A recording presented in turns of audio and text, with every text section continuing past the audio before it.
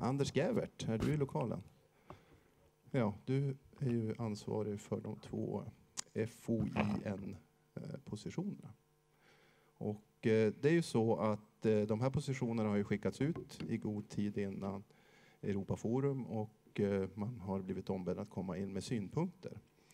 Eh, och om vi börjar med de två där vi inte har fått några synpunkter så är det då positionen om sammanhållningspolitik. Eh, och då gör jag som man brukar, jag lämnar ordet fritt med anledningen av förslag till position vad gäller sammanhållningspolitik. Jag ser, jag ser ingen som viftar. jag hör ingen heller. Ja, kan vi då ställa oss bakom den positionen? Svaret är ja. Sen går vi då vidare till eh, positionen om rymden. Där är vi ju en av de få regionerna i Europa som faktiskt kan det här med rocket science. Eh, inte heller där har det kommit in några synpunkter. Så jag lämnar ordet fritt och med anledningen av den här positionen. Då finns det ett förslag. Kan vi ställa oss bakom den positionen? Svaret är ja. Har du då fått fram tekniken och kan visa den tillägg eller förändring som har skett här och ja. kommentera? Vi, vi, har ju inget tillägg i den du nämnde alldeles nyss, då, rymd, rymdposition. Vi måste ha en sladd. Det skulle vara inlagt på någon ja. dator var någon som sa. Det är inte trådlöst Men jag kan väl prata då. Rymdpositionen har ju vi inte några förändringar i och den har ju varit ute och för synpunkter precis som Erik har sagt.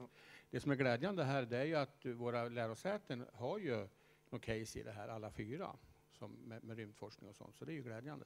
Det kan bli stort det här om vi, om vi hänger på låset att bygga upp en rymdindustri för det vanliga samhället också. Visst är det lite häftigt? Ja, det låter jättehäftigt.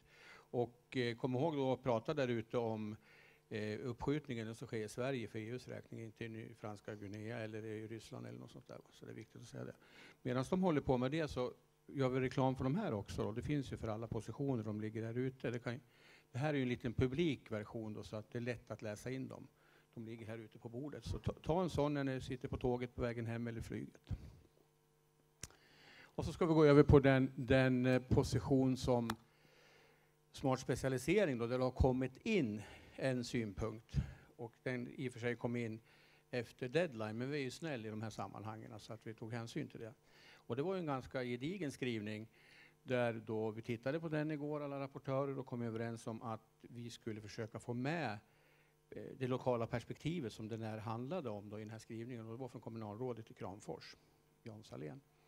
För det gick inte att fälla in hela den texten, för då hade det blivit något eh, annat än en position. Och eh, då, då ser ni där på, på de här bilderna här, de som är röda, de har ett streck under, det är de vi har lagt in för att försöka få in det lokala perspektivet. För det får inte bara handla om det lokala, det är ju regionalt och lite annat också. Så det gäller att väva ihop det här då på ett bra sätt. Och eh, sen har vi uppmanat då den, han som kommer med synpunkter, alltså kommunalrådet i Kramfors, att kanske lite längre fram göra en position av den här lokala grejen.